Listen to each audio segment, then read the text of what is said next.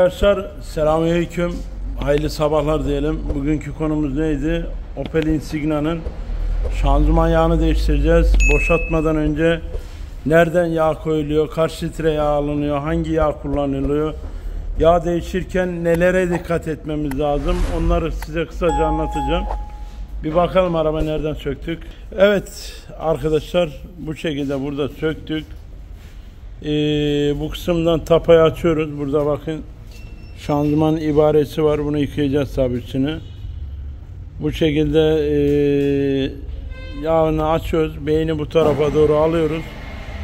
Şanzıman yağımızı boşaltacağız arkadaşlar. Buradan tahliyeyi açıyoruz ki daha rahat boşalsın diye. Evet arkadaşlar şimdi şanzıman yağımızı üstten gösterdim. Bu şekilde boşalıyoruz. Şöyle tapayı kapadım. Bakın buradan açıyoruz. Arabamızın kilometresini belirtelim arkadaşlar. 170 binde. Daha önceden değişmiş mi bakalım. Al Ömer tapayı. Şöyle e, durumluk oranına bakalım. Şanzıman yağı temiz görünüyor. Siyahlığına bakmayın arkadaşlar. E, iyi değişmiş bir, bir hali var. O yüzden abimiz tedbir amaçlı yağını değiştiriyor. Evet, şanzıman yağımızı buradan boşalıyoruz. Ama biz ölçeğini bildiğimiz için buradan da kontrol edebilirsiniz. Bakın burada şu elimin ucunda görüyorsunuz aylanlık yer var. Veya da üst tarafta bir tane şöyle bir tapa var. Bakın görün. O tapadan da kontrol edebilirsiniz tam bu kısımdaki yerden tapa yağın seviyesini kontrol edeceksiniz. Bu şekilde yağımızı Motul marka kullanıyoruz. Şöyle yağ göstereyim size arkadaşlar. Şimdi otomatik şanzıman yağı değiştirirken e, tabii ki riski var. E, yeni yağ koyulduğunda balatalar, sekrometre yani balatanın içindeki e, Orlinkler, sarı metaller, balata var. Yine içinde bir sürü bir balata var.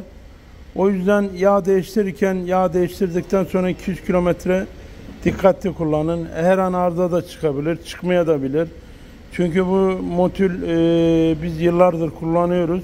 Her 40 bin kilometre, 60 bin kilometre aralığında değiştirmeniz gerekiyor. Yani bunları değiştirdiğiniz an hem ama araba sıfır olması lazım veya da 170 bindeki aracını değiştirdiğiniz an ne olacağı belli olmaz. Ona bir şey diyemiyoruz. Yani çoğu usta demez.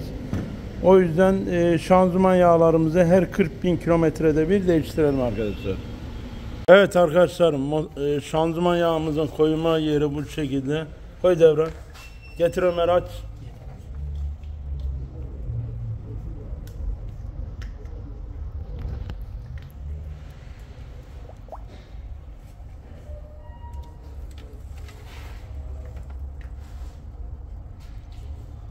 Tam 5 litre koyuyorsunuz arkadaşlar. Aracımızı bu yağ değişiminden sonra en az 200 kilometre zorlamamanız lazım. Bu şekilde dikkatli kullanın.